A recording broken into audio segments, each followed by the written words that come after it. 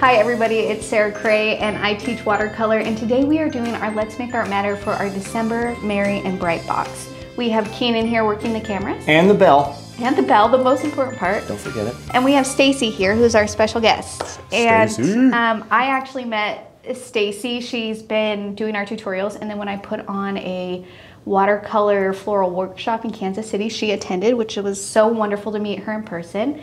And um, this is a special tutorial because the recipient for our Let's Make Art is Stacy's mom. Yep. So we're so grateful that she um, came here to paint with us. I invited her, but it's, you know what? Like, thank you for coming because it's actually really intimidating getting on camera and painting in front of a lot of people. And so I just really wanted to show our appreciation that you were willing to do that. Thank you for having me.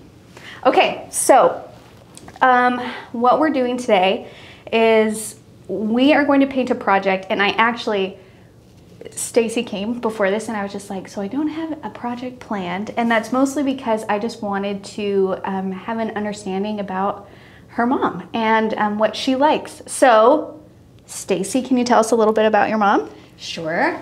Um, my mom, her name is Julie, and for the past seven years, she's been uh, battling ovarian cancer, and she's beaten it and had remission, and then it came back, and it's come and gone for the past seven years. But um, last year, her doctor suggested that she go on some clinical trials, so she's been doing that all of this year in 2022, and none of those have been successful. So we're not really sure what the next the next step is for her, but you know, throughout, I can't really differentiate a time between like when she was sick and when she wasn't because throughout the seven years, like she's remained the same. Mm-hmm. So she's still just as bright and happy now as she was pre cancer. And yeah, she, in one of her remissions, she started a nonprofit organization where she delivers um, blankets to women who are undergoing chemotherapy for ovarian cancer specifically so that they can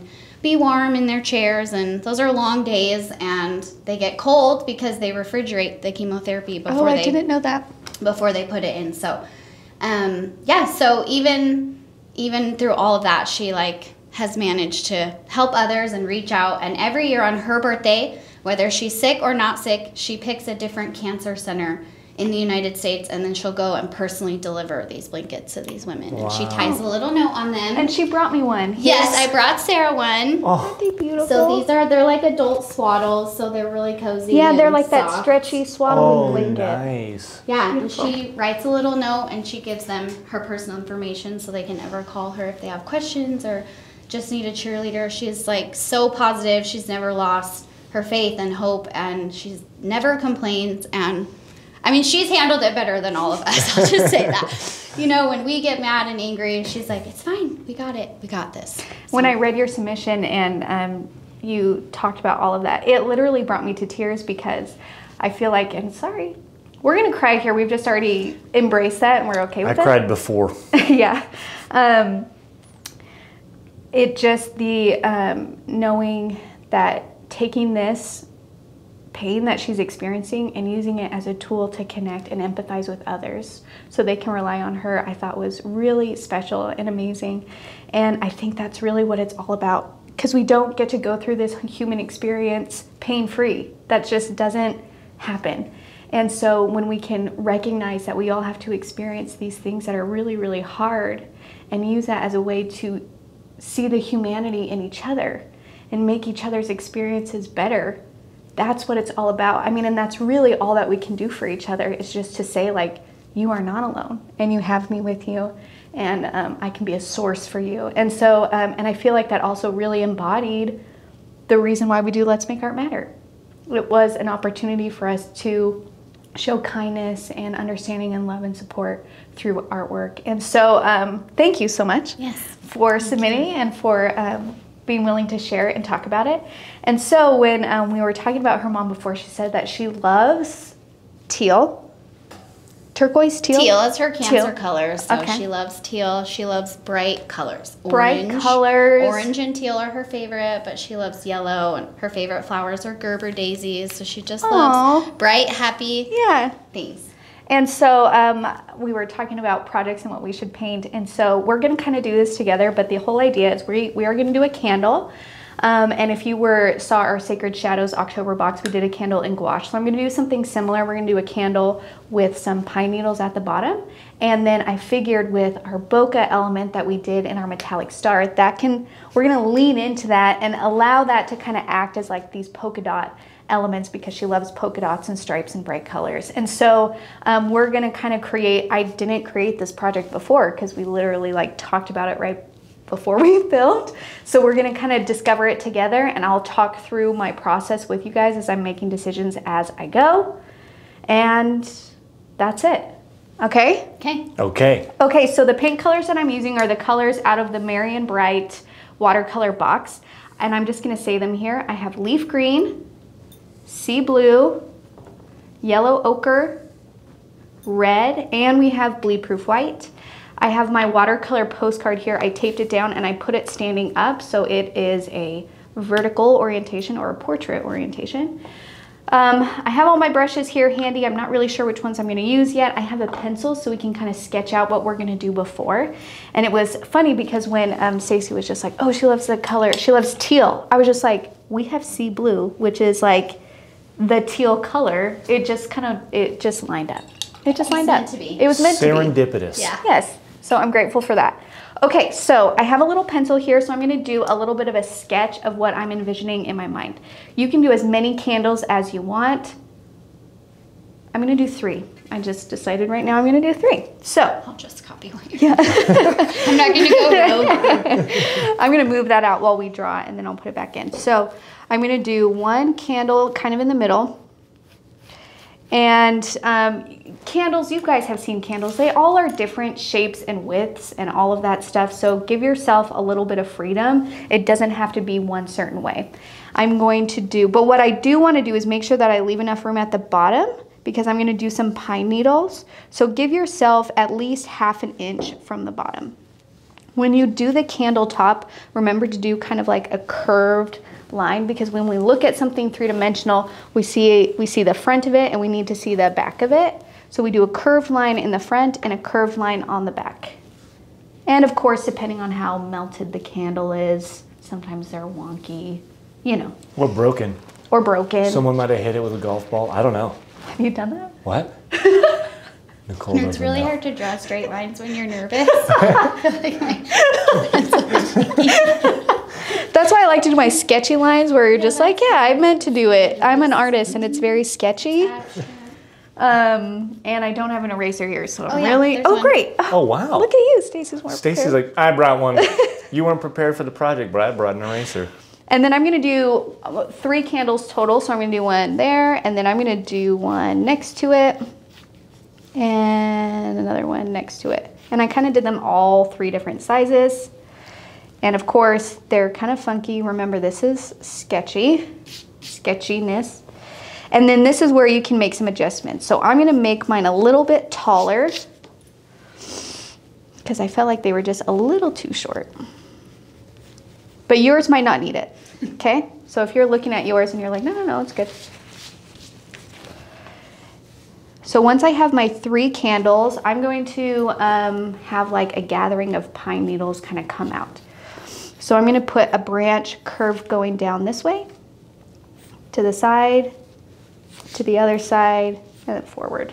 And you can do as many branches as you want, um, but just remember to curve them, because if they're like straight lines, that's um, aggressive. That's the only word that I can think of. So you want them to feel like they're kind of like that curved branch. Got it. Line. Recently fallen. Yeah. And then that will serve as our base. And you don't have to do each one, but just so you guys can get a feel, we'll have the pine needles kind of come off for each one. And then I'm going to do a little group of berries right here to kind of like cover up that center. Yep, very nice. Perfect. And then this is where now that we have like our basin, you can say like, oh, those candles are too big or too small or too short or too tall, whatever you need. Um, make adjustments. um, I'm gonna just kind of sketch in the flame so I can get a real understanding of the heights. Yeah, beautiful.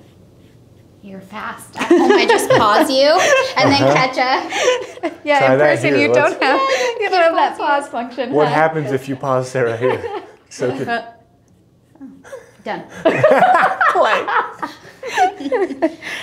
Okay, so now that I have my subject essentially sketched out, remember that sketches are a guide. There, you don't have to follow them exactly because as you're painting, you're going to be making different decisions and all of that stuff.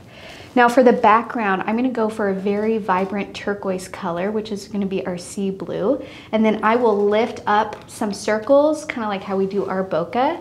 Um, I'm going to choose a red color for my candlestick portion, and then obviously green and red down here. Now, um, thinking through, now that I've like mentally assigned colors to what I'm doing, I also want to think about the steps and how I'm going to approach this project. So usually you want to do your background first and work from the back towards the front. But because watercolor is transparent, if I do a dark blue background dar- down here over my pine needles, it's going to be really tricky for these pine needles and that red to stand out, right? So I have to think, okay, I want to make sure that it, there's at least a lighter value down here so these colors will show. So then I'm like, okay, maybe what I'll do is I'll do almost like a vignette feel where this, this center angle, I'll keep a lighter value and then along the edges here and here, I'll let those get darker. Does that make sense? Okay. Um, so let's start, let's just start. So I'm just gonna start the painting. I'm gonna use my six, but you can use whatever brush you have. I'm gonna get my brush wet, hit it off the side of the cup so it's not dripping. I'm gonna grab this sea blue color and I'm just going to start at the left-hand corner.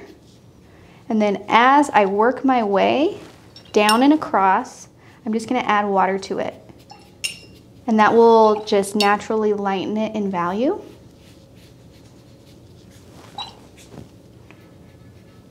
So then when we get to the candle and the flame portion, you're gonna want to avoid those completely, paint around it, and I have a barely there blue color.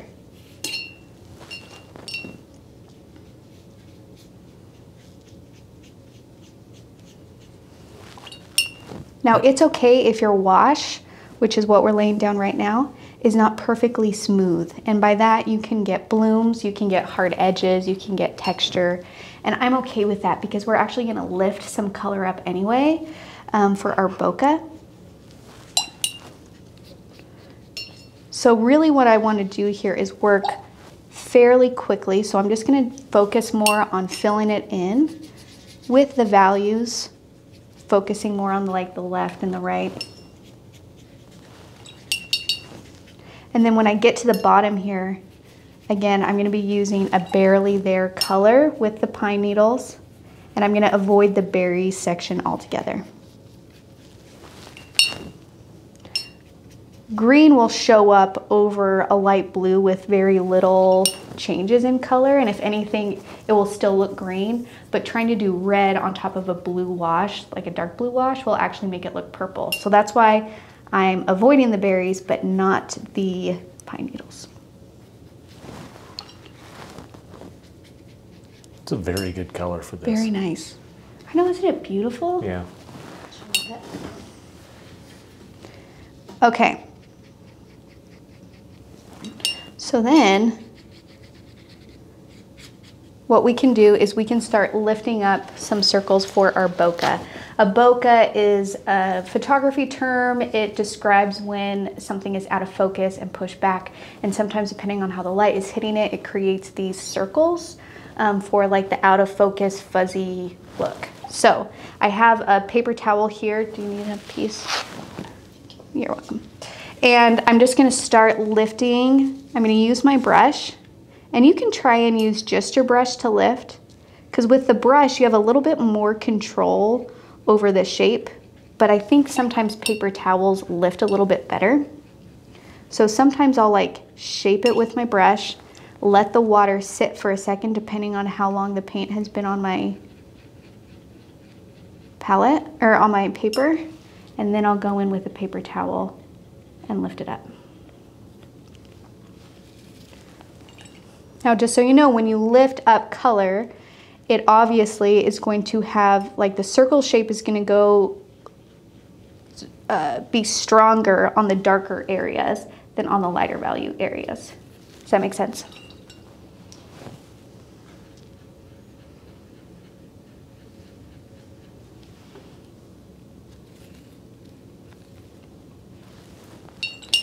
And I always tend to do, when I'm filming, I always go crazy with the bokeh. So just do it till you feel good about it. And remember too, we have bleed proof white. So if you're trying really hard to lift up and you're just not getting it and it's just not working, then you can utilize your bleed proof white, but I'm gonna wait to do that to the very last step. I think you've mentioned this in other tutorials, Sarah. Yeah. But when it comes to bokeh, can you let your painting dry completely and still successfully get a bokeh? You can, um, but a couple things to that. When you let your painting dry and then you put water down and lift up, you're gonna get a darker edge from where the water, wherever you put the water, there you're gonna get a darker edge there, which sometimes helps with the bokeh, but sometimes it doesn't because if the contrast is too high, it automatically will bring the bokeh forward. And our job is to try and keep the bokeh in the background. We're trying to communicate something far away. And when you have too much contrast, it can possibly bring it right forward. So when you let your painting completely dry and add water, you're gonna get a ring. Um, but so just like heads up on that. And secondly, the longer you let your painting dry, the harder it is to lift color. So if you're um, like lay down a wash like we did, like look at how light Stacy was able to pull up this color here with this bokeh. Mm -hmm. I don't, if she let that dry for a really, really long time, I don't know if she would be able to lift up that much color. You will be able to lift up some, but maybe not as much if you did it right away. When you do it right away though, it's trickier to get the really tight circle shape. So it's kind of like a, it's just kind of tricky. I don't, I, I don't think that one of the ways is better. I kind of do both. Okay. And that's why I'm kind of going back and forth between it a lot. And um, the other thing is when I have, so I did my wash and you can see I have some hard edges here. And let's say that that's bothering you and you don't really like it like th this one I don't mind that much, but this one is kind of throwing my eye. What you can do is you can put a bokeh circle there and it just disrupts that hard edge. I mean, it doesn't totally make it disappear, right? Because I'm not blending the whole thing out. But by just by disrupting that line, it just doesn't make it as strong of a line in my composition. nice. That's beautiful. Also, that looks so good it wouldn't hurt at all, at least for me to see, an entire page of practiced bokeh. Yeah. That would look incredible. Yeah. And as Stacy was saying, like, Julie loves polka dots. So if you just want to do polka dots. Oh, that would be fun. You can do that. Like, She'd love it. Yeah. So um, give yourself freedom. Just because we're painting this, that doesn't mean that you have to paint exactly that. If there is something that you're just like, oh, bright colors with orange and teal, okay you know, I got this, and paint something that just kind of speaks to you. You have full permission to do that, and I'm sure she would love to see the different variations. Okay, so I'm feeling pretty good about this. It looks great. Um, now what I'm going to do is I'm going to do my candles, but you wanna make sure that at least the paint area by your candles is dry because we wanna make sure that that red color stays on our candle shape and doesn't bleed into the background. So um, make sure it's dry is what I'm saying. And I'm just gonna touch mine. I don't think you're supposed to do that, but that's what I do. Hmm. And um, actually, can you hand me that heated yep. craft tool? I'm just gonna take a second, make sure. Nice, smart. Thank you. Can you do different colored bokehs? In this? or in general? Well, just in general, can like you pull up color, then put color, then pull yes. that color? So bokeh, bokeh is a fuzzy representation of whatever's happening in the background. So if you have Christmas lights in the background that are orange and pink and purple and blue, your bokeh could be fuzzy. If you're outside and there's like a green field and that's the part that's fuzzy, then you would have green and white and yellow circles. Does that make sense? Yes. It is really informed by its environment and its surroundings. So depending on your scene and depending on where it's taking place, absolutely you can have different colored bokehs. I will say though that the more complicated things are in terms of color and placement and uniqueness, the trickier it is to communicate that on a painting. So I try and keep things simple by just staying usually, for the most part, like monochromatic, like one color. Maybe I'll go into one or two, like with the candle that we did for Sacred Shadows. I went into like the oranges and the browns a little bit, but that still was in more like one hue as opposed to a lot of different hues. Does that make sense? Yep. It's possible, but it's a little bit trickier. Okay, so I'm gonna take my six or whatever color you feel comfortable using. I'm gonna make sure I have some fresh red on my palette. And I'm just gonna paint my candle area red. That is a bright color. And I love teal and red together mm-hmm. so much, especially around Christmas time. Mmm. I'm saying that's a cinnamon scented candle. Okay. Do you like that candle smell? Mm-hmm. Do you have like a favorite candle smell? Is there one that smells like brownies? Because that would be. There's gotta be There one has to be. like sure There's gotta be.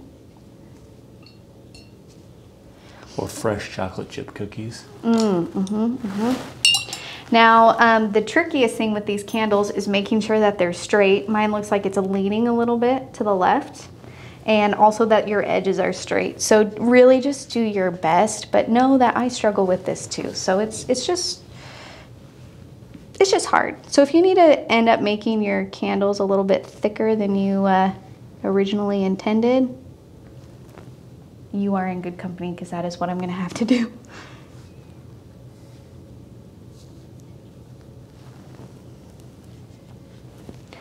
And I'm just gonna go ahead and put all three in. And I'm okay if they kind of bleed together. If you wanna give like, if you wanna leave a thin line to separate them, you can. Um, or you can just let them touch and let them bleed together. I, I don't think that that would really take away from the candle portion.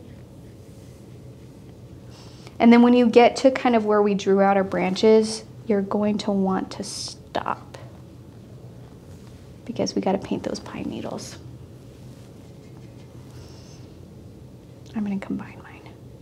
Now I'm not focusing too much on form on these candles. I'm kind of just doing an even wash and um, letting that do the work for me on um, creating this candle. If you want to focus on form and creating them, making them more three dimensional, what you would want to do is wherever the candle is turning away, that's where you would want to darken the values to show that there's form.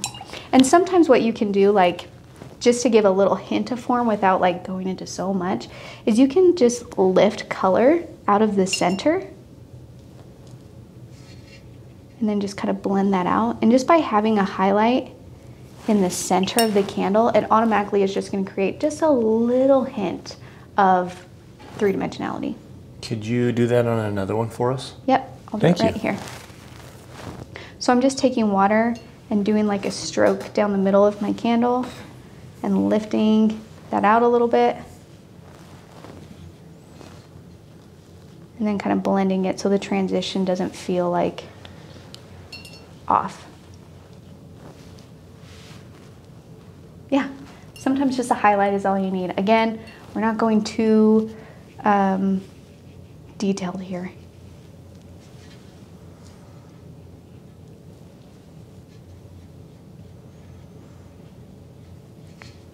I'm gonna move this up so I can put my hand next to it for a second.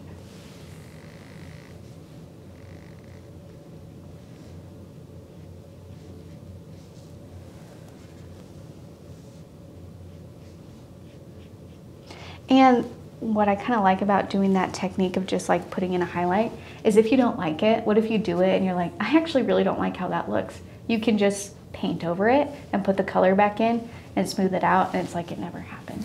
So I love giving you guys opportunities to make your own decisions and being like, actually, no thank you, and then put it back. No problem. Easy. Easy, easy.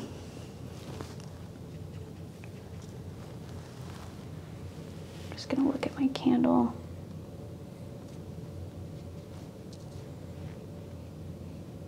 Form here. Okay. And if you really want to, um, if you mix a little bit of the yellow ochre with the red, you'll get like an orange color. So if you want to add like a little bit of this orange, it's not a super vibrant orange, it's like a desaturated orange, but it will just add to a feeling of warmth. Because when you add water to your red, you'll get a pink kind of color. So if you don't want that and you want it to lean more warm instead of pink, then you can add a little bit of yellow ochre in there and that will just kind of still read as a lighter value as a highlight, but not pink.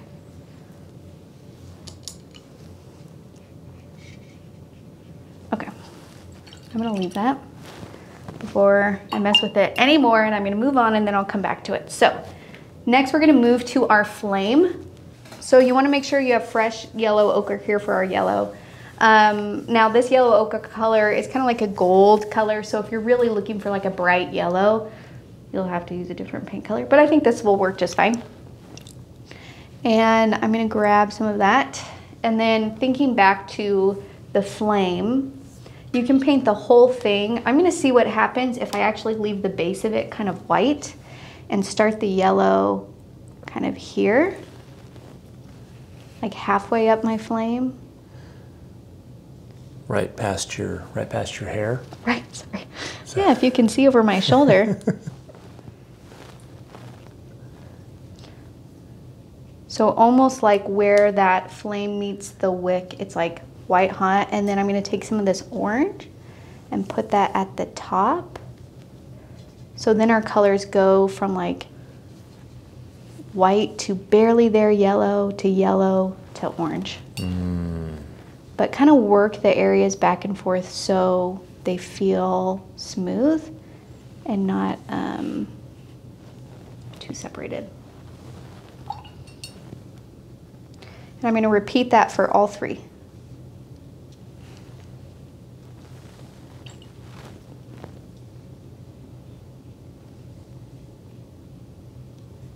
And again, you want to make sure that you're background is completely dry. We, especially with this flame, we do not want it mixing with the blue background because that will create green.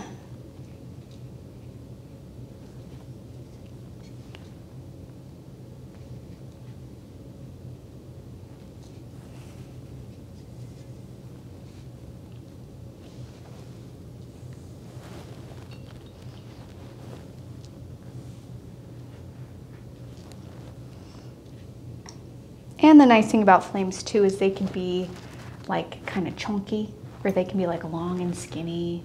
Ooh, or maybe even a little wispy. Yeah, there's. I feel like there's different types of flames. Oh yeah. I don't know why, uh-huh. but I see them in my mind. No, I do too. Okay. They're constantly moving. Yeah. Sometimes they hit the wick weird, and there's like black smoke right above it. Yeah.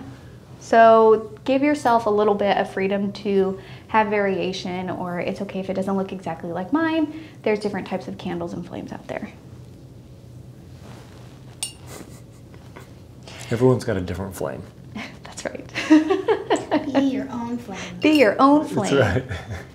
um, and this actually works out well because I know that some of you have been asking to do like they really love the candle project, but how do you, that obviously has a very fall Halloween vibe. And they're like, how do I make this Christmas? And so um, even if you don't follow this tutorial, how you would transition is just the colors. Where like with, with Halloween things, we focus on browns, um, oranges, like blacks.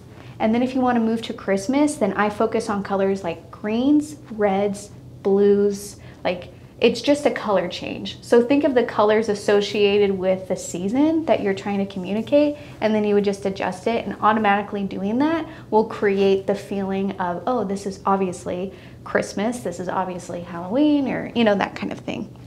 So, hmm. okay, we're gonna leave that for a second, and then let's do our pine needles. So I have my green. I'm gonna mix it with some sea blue to get a like a really rich dark green. I also am gonna mix it with yellow ochre to get a more yellow green. And then I'm gonna do a tiny bit of red in there, which will desaturate it and make it um, like a foresty dark green. Too much. There we go. So I'm gonna pull from all three colors. If you wanna do the branch first, and actually, if it's okay, I'm gonna move this that way. Okay. So if you want to do the branch first, you can, but try and use your two or whatever smaller brush you have. What do I have here? Yeah. And do thin wispy lines coming out of it and grab from all the different greens. And remember, pine needles are like wonky. You know what I mean? Like some go that way, some go angled this way. You know what I mean? Like Oh yeah. there's, Some have been dried up a little bit. They might be a little more brown. yeah. And you're just gonna repeat that on all four branches. Now the ones in the front, I kept a little bit shorter, but if you want them to go off your page, you can. So I want it to almost be like there's a gathering of pine needle branches holding these candles. Mm.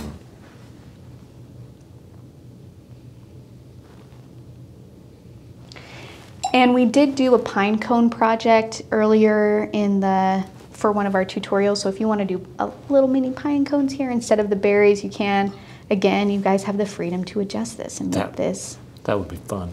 yeah, harder probably because they're mm-hmm. tiny, but You'd have the candles look like they're melting, and the wax is what's holding the pine needles together.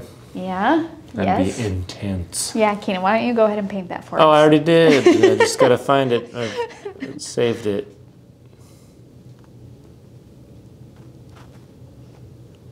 And I love having the reason why I like to have different greens to pull from is one, color variation is just always interesting, visually interesting in a painting. Two, the different colors that we mix naturally have different values. The yellow green is naturally a lighter value, where the dark forest green is a dark value. And when you have variation in value, you automatically create a sense of form and depth even like that alone. And so I always try and encourage us to have different values and colors to pull from because that step alone can create dimensionality to our painting without us having to have a photorealistic painting. And I like that. I like that too. Less work hmm. for a- an effect is what I'm what I'm all about.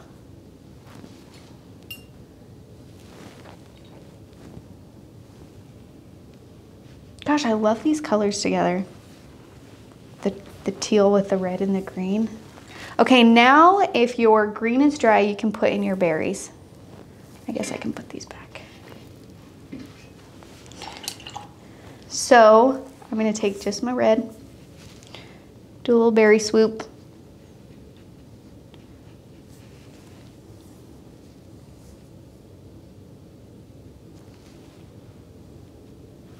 And if you want to do more berries, go for it.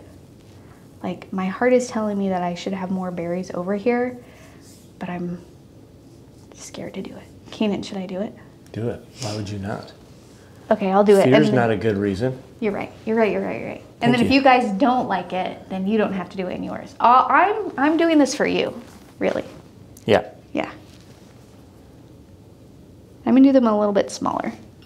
Can you tell Actually, the same thing you told me when you ate all those snacks that you were sent What? What did I say? for us. I'm doing this for you. Keenan, I know you've been trying to work out and stuff. I'm really helping you on your Yeah, journey. Thank you. I will eat all the chocolate for you, and you're welcome. I don't know if you know this, but I'll find other chocolate. I will always find the chocolate.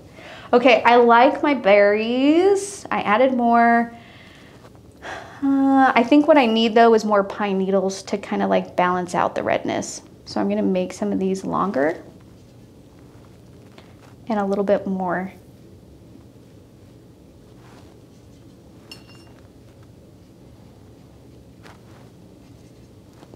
Just to kind of like, so it's not just all red down there. And let's say you put in your berries, um, you did the one and you're like, that's good, I'm not gonna do the rest, but it still feels empty. We'll come back to that area because that's what I'm feeling right now, but I'm gonna come back and show you what to do with that. We're gonna let that dry. Okay, now we need to pay attention to our candles. So we need to put the back end of our candle in. So I'm gonna mix a dark red. So I took a little bit of the red and a little bit of the sea blue over here. And I'm just gonna do a little, like filling in kind of that back area of the candle. Sometimes it's just a stroke. Doesn't have to be a lot. And depending on the angle at which you see the candle, like if you're if the candle is above you a little bit and you're looking at it from below, you wouldn't actually see the back rim of the candle. If you are high above the candle and looking at it downward, then that um, you would see way more of the round like thickness of the candle. And if you're looking at it from the side, you would only see a little hint. Okay? Okay. Does that help with angles and how much to put in there? Okay. And then I'm gonna use this same dark red and actually just create a little bit of separation between the three. Mine bled together a lot, yours might not have, but I feel like I just need to Mm. push them a bit away from each other. That's another opportunity to reshape a, a crooked one if you've got one. Oh yeah. I would definitely have crooked. Mine would probably just be spirals. Actually, that would be super cool. That would be very difficult. It would. That's a lot of painting you gotta do. Yep, very nice. Looks good. Stacy, I love your pine needles. Thank you. I do too. And then what we'll- lopsided. what we'll do is I will show you what to do in that area. Yeah, I was waiting till they the berries were dry because I didn't want to. Yes. Oh, then you already know. Okay. So Oh, for wow. if you saw, there's just a little bit of a white line between her berries and her candle. You want to make sure that they're dry before you go back in and fill in that area if you want separation. And if you want to put the berries in front and the candles behind, then you would paint that section dark on the candles. And then your berries, you can even lift some color out, which would create a lighter value, which will put it forward. Does that make sense? Mm-hmm. Weird.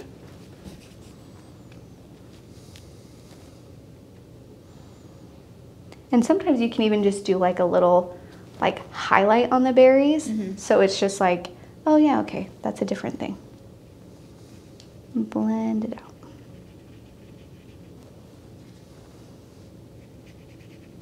I don't think my candles are quite straight, but I'm just gonna be okay with that. I'm just going to. I just, I feel like I keep trying to like straighten them out and I end up just making them thicker and thicker and thicker. And so I'm just kind of struggling with that. Um, but I'm going to keep going and I am just going to tell you that it doesn't matter how long you've been painting, I struggle with straight lines. See how thick I made that? That's right, He's just a thick boy.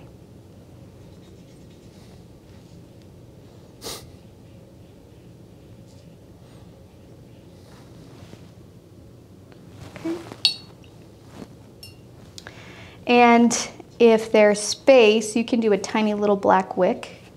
You're, we're gonna get black by just mixing all the colors together. And you can just do a little line. Again, depending on the angle, you might see it, you might not.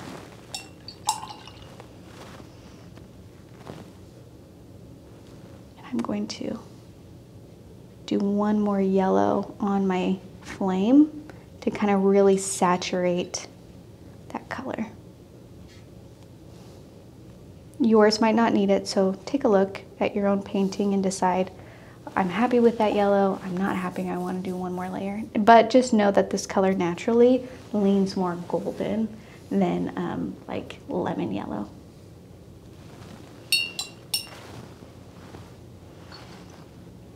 Very nice, very nice.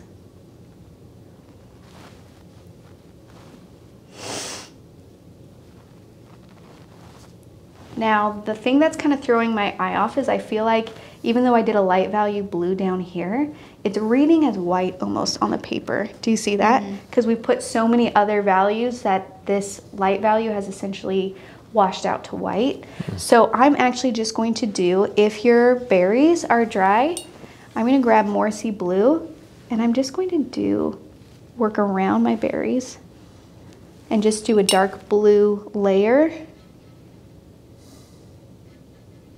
around it. But if you want to see me do it first before you decide, like, yes, that's for me, or no, that's not for me, go for it. Just know that if you touch your pine needles, the green is going to bleed. If you, you know, if your red is still wet, it will bleed. But these are a little bit loose anyway, so I'm just going to kind of go for it. Always go for it. Got the berries, now you got the teal. Got my teal, got my berries. And it kind of looks like it's set up on something when you did that. Yeah. You could even do maybe like a dark brown, like it's on a table, Yeah. you know? It's up to you. This is your painting.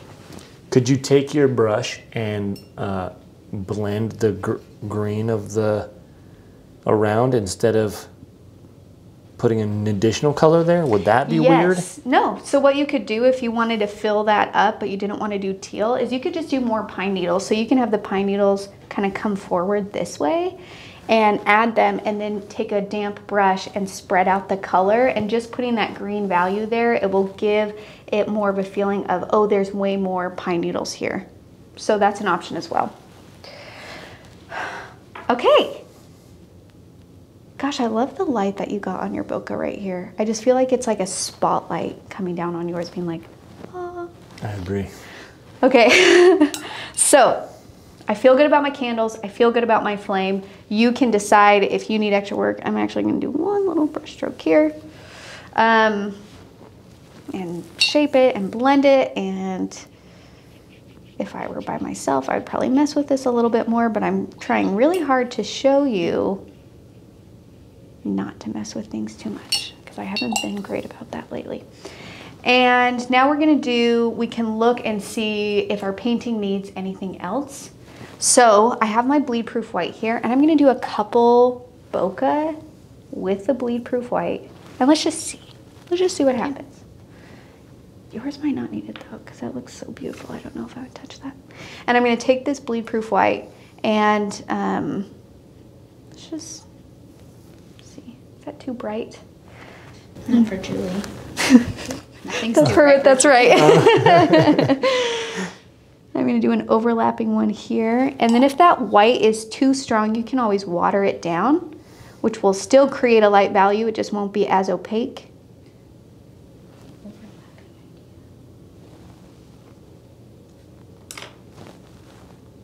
And here's that bleed proof white. If you want to use it, you don't have to. I'm waiting for my berries to dry so I can put blue on the bottom. You can use that heated craft tool if you want to. Oh, yeah, that's got your name all over it. Yeah.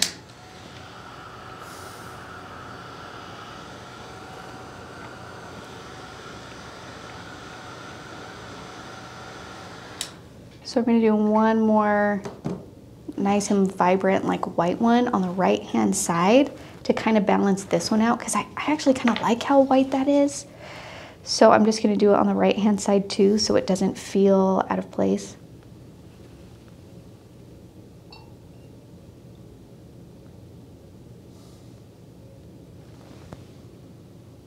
And I feel like I need a light, like a medium value one at the top right here.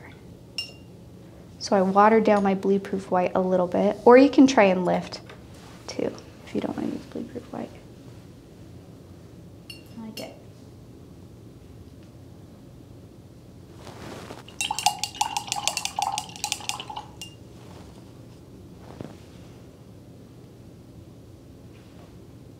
I'm thinking it's done. Looks good. Let's untape it. Okay. For you guys at home, try and let it dry a good amount of time before you untape it. I usually just leave mine overnight.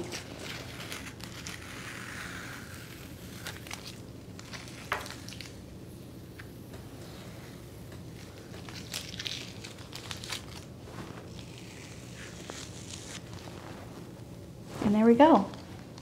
Wow. I love it. I love how you did your flames and your bokeh background, Stacy. Thank you. It looks so good. I love taking the second and just being like, well, I just made that, you know? Yeah. so this is our project for Julie. And um, you got to hear about her and how wonderful she is. And we're so grateful for Stacy for sharing that with us and for being vulnerable enough to do that. And um, as you heard, she loves bright colors and um, she's so caring and loving. And, um, you know, so really, I think probably whatever you choose to paint, she'll probably really enjoy. And um, if you guys are not familiar with Let's Make Art Matter, we put a postcard pre addressed, pre stamped in all of our boxes. And that way, every month we can come together as a community and show some love. And so, um, if you want to read more information, we put a little information card in the box so you can read about that here. And thank you. Yeah, thank you for having me. I just, I really loved painting with you. And um, Keenan, Sarah, always a pleasure. thank you. and um, if there is someone that you think could benefit and could use a little pick me up, a little art hug, someone who deserves a little bit of love, we have a nomination form. You can go to letsmakeart.com, um, scroll down to where it says nominate. I think that's still there. Sure. And you can fill out that form and we will contact you. So, thank you so much. Stacy, it was wonderful for you to come and paint with us. And um, I hope you guys take the time to make Julie smile this season. And that's it. That's all I got to say. That's it. Okay. Bye, you guys.